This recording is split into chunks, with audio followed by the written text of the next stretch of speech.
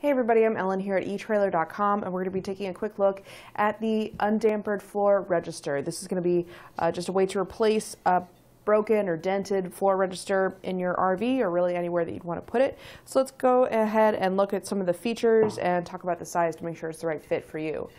It is made out of a dur durable steel construction, so it should be pretty sturdy for just about any kind of application. It has a nice powder coat obviously in white, so should match just about any kind of interior. For the external measurement, it's about 10 and 5, or excuse me, 9 and 5 eighths of an inch long. And then about 5 and 5 eighths.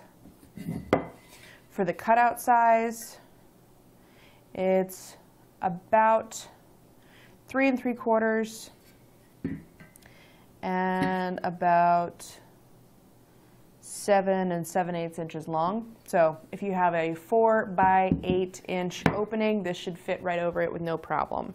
The distance between the mounting holes for the screws are spread apart by about nine and three quarter inches. It does not come with any mounting hardware, so you will have to, to uh, provide that on your own. Just two small screws should do it with that. And that's pretty much all there is to it for our look at the undampered RV floor register. I hope this has been helpful in deciding if this is going to be the right part for you. I'm Ellen here at eTrailer.com. Thanks for watching.